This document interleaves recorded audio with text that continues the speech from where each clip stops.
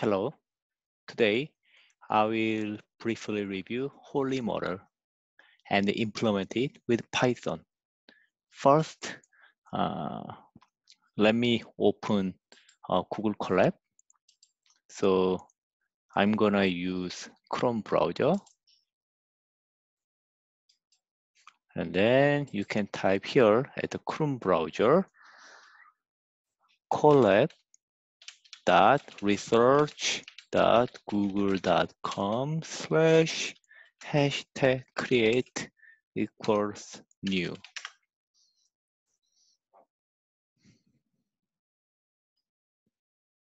And it will load Colab and then I'll start program here. Let me magnify the screen. Okay I think that is enough so first, let me briefly review what is a Ho-Lee model. So Ho-Lee model, uh, basically Ho-Lee model is suppose we have initial interest rate like R0.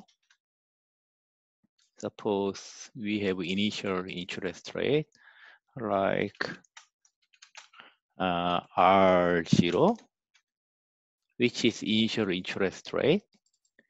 And then let's say this is initial rate, initial rate.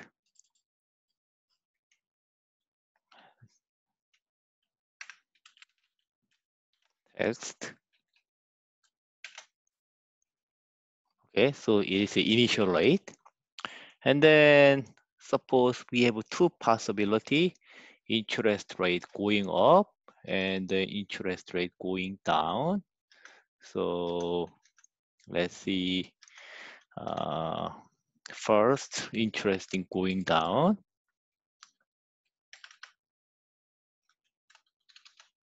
RT, let's say RD is uh, down interest rate. So RD equals R0 plus M dot dt.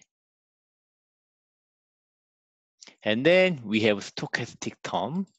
So minus because it go down. So sigma. And then uh, we have sigma and we have time basically. Sigma and dt. dt is uh, time. And then we have power of 1 2 so it is interest rate going down. In case of interest rate going up we have ru is basically R underbar zero initial rate plus the same drift term MTT and now we have plus sigma dt to the power of 1 over half.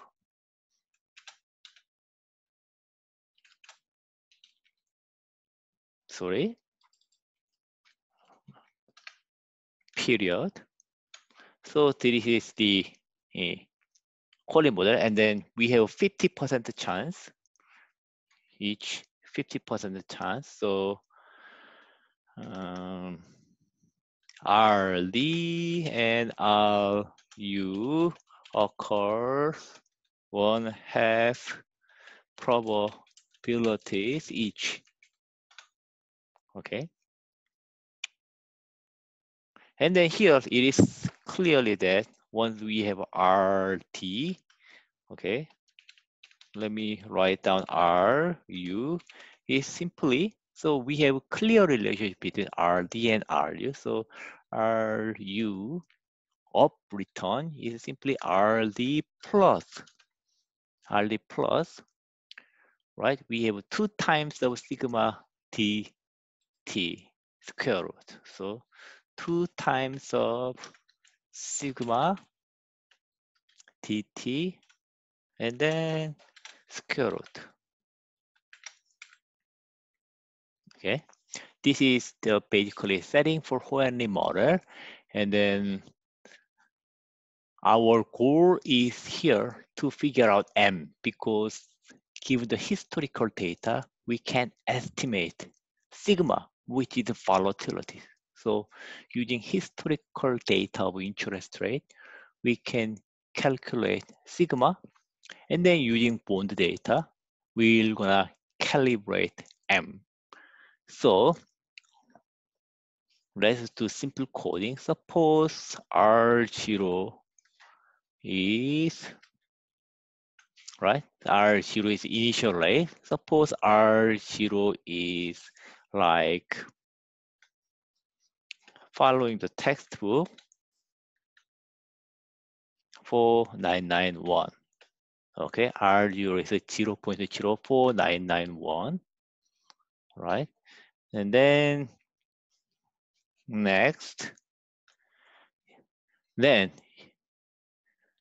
it is clear that uh, it is clear how to construct the rate. So uh, for simplicity, let's take some initial value about m so for initial value of the m, let's say it is 0 0.02. Two. So this is just initial guess. Guess, but we have to calibrate m, and then r d is now it is clear. R d is r0 plus m dt multiply dt. Oh, and then let's assume dt is one quarter, so 0 0.25, so three months. Three months time interval dt, and then minus sigma. So we need the sigma. So for sigma, let's say the initial case for sigma is no, no, no our value for sigma is let's say um, we can pick any number but because it is interest rate let's pick a small number so sigma is like v is 0 0.005 so it is sigma interest rate i.e. sigma i interest rate volatility. It is, of course, annualized interest rate volatility. To make it simple, to make it uh, more transparent, let's call it VOL. So then we have VOL multiplied by DT to the power of 0.5. Right? And then R on the bar U is then r the body plus 2 multiplied by multiplied by 4 dt to the power of 0 0.5 right? So let's print rd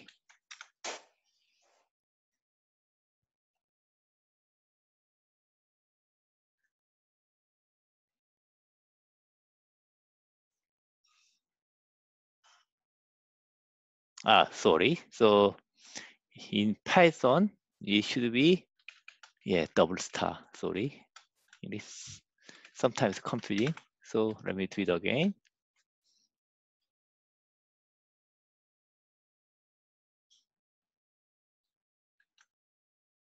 Right, and then print RU looks like this.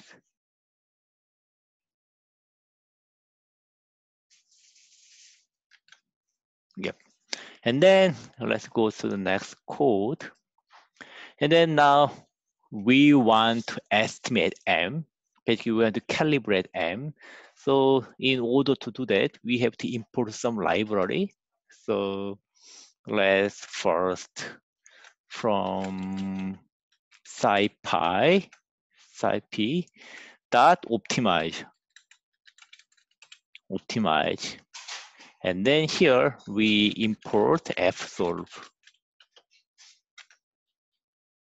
So we wanna solve for m, so we need fsolve. Let's see whether it works. Okay, it is fine. And then let's import math. And then from math, we're gonna import the function you are going to use is exponential function and log function and sqrt okay? Let's save.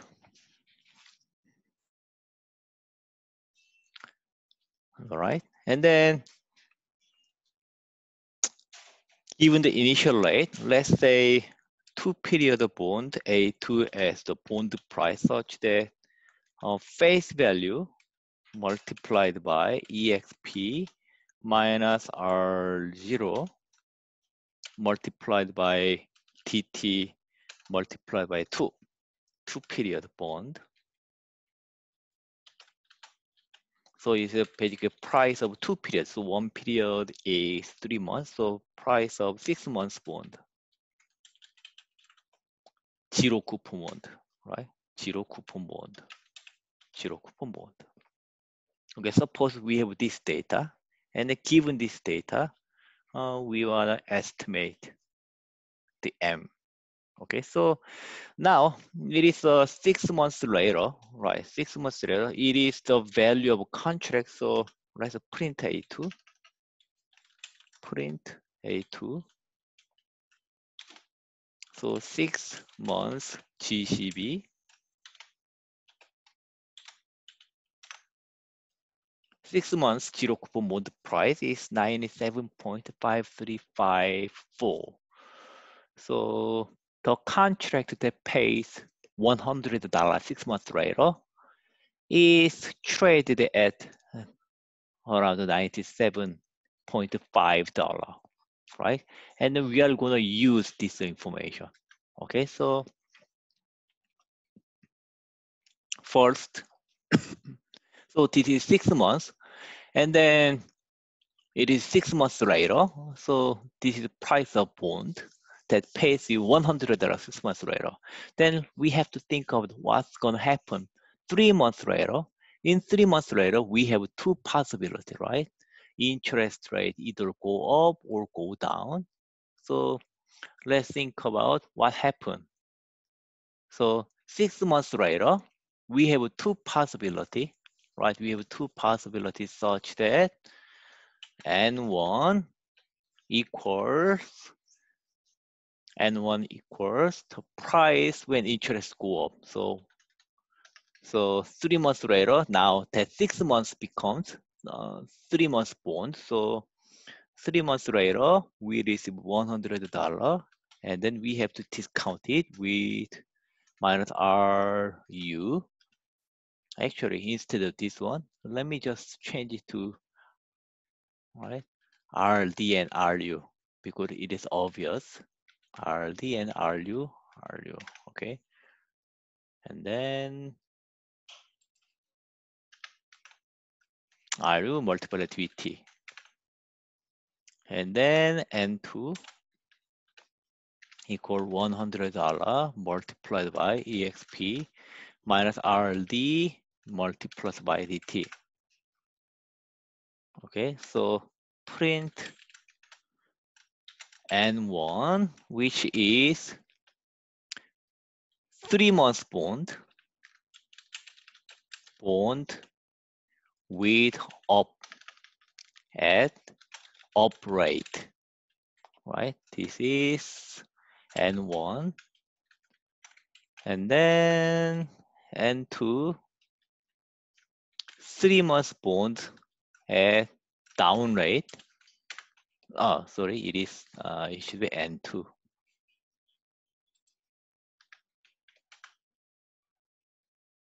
Now, okay, the value of a contract that pays you $100 six months later is about $97.5354. Three months later, now this bond becomes either this one or this one. right? Because interest rate goes up, three month rate goes up either to this one or this one. So six months become six months bond becomes three months bond three months later. So we have to discount three months later. We have to discount the face value $100 with three months rate, which is either up rate or down rate, right? So that's why when interest rate goes up, of course, the bond price is 98.5 cent and interest go down, then bond price go up, so 98.69 dollars. So currently the six months six months bond is this price, and three months later this bond becomes either this one and this one, and then three months later it becomes 100 dollars, of course, right? So that's the path of the bond price. Now we can calculate current bond price right? We can calculate current bond price. So N0, let's call it N0. Then N0 equals now, because both interest, interest go up or go down with 50%, right? So 50% multiplied by N1 plus 50% multiplied by N2 then it is expected of the value, expected of the bond price six months later, no, no, three months later. Then of course it is expected rate three months later, so we have to discount it with three months rate, which is available today. Today is three months rate, which is R0 minus R0 multiplied by DT. Right, then print and 0 which is theoretical six months bond price, right? And then we are going to see N0, right? So our theoretical price is this one. Currently price of this one, and then three months later, it becomes either this one and this one, and then it becomes 100. But now this is observed bond price. So it is observed. So we have a gap between the observed six months bond price and our six month bond price, right? So that is a gap between theoretical bond price and observed bond price. So we can calculate a gap. Gap equals gap equals theoretical price n0 minus n0 minus a2 right and then print n0 minus a2 equal gap so gap is this one so our goal is to make zero our goal is to make zero such that our theoretical price is exactly same to observed price. Then how we can make it zero? We can make it zero by changing m over here, right? By changing uh, this value over here, m. So that's our goal. Then how to do it? Well, so let's try. So in order to do that, we have to define function right? We have to define function and then we want to minimize it. So, well,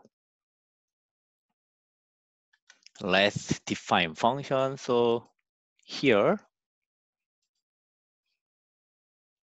before we do that, let's make it clean. So it is 0.5 both places. So delete this one and then simply multiply 0.5 over here. Okay then it is looks better. Okay, so okay, let's continue. So let's define function. Define function for Li1. Li1. Okay, and then we put m over here. m because we want to find the m, and then let's move this one over here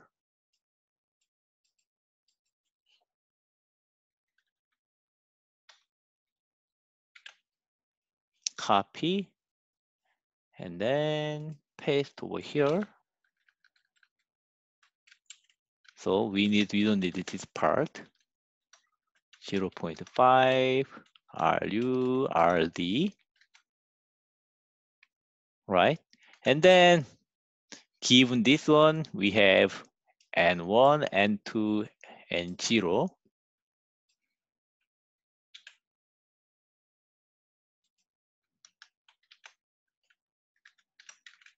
N0, okay. And then, of course, we need observed bond price, which is observed bond price, this one, A2.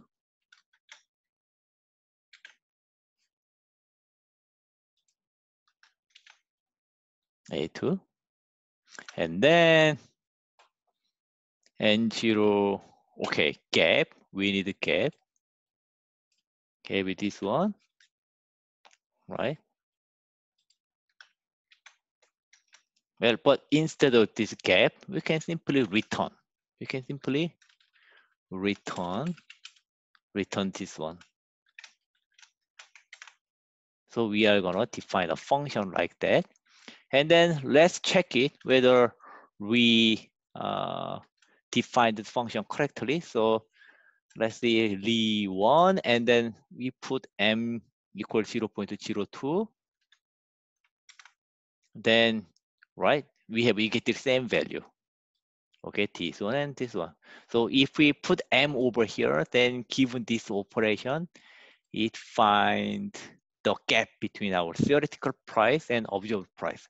And then our goal is to find m, find m such that the return value is zero. Okay, then how to do it? Then we can use this fsolve function. fsolve function. So to use fsolve function. Okay, so fsolve, fsolve, fsolve, and then we gonna solve this one, and then let's say initial value is 0, 0.02. Okay, so here fsolve means that we want to minimize this function. And our initial value, this, this is initial guess, so initial guess. So you can put basically any arbitrary number. So let's start from zero and we can solve it. And then we have this one. Okay. Zero is the uh, very small number. Okay, so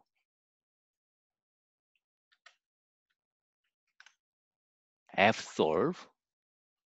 If we solve it, this becomes a very small number.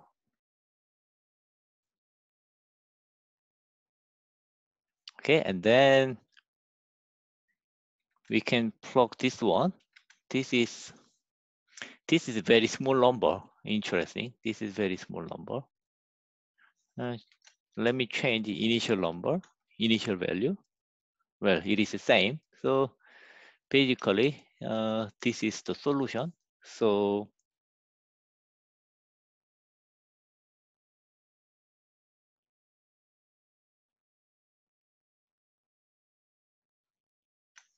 let's try. So let's call this one as M0. And then let's see Li1, M0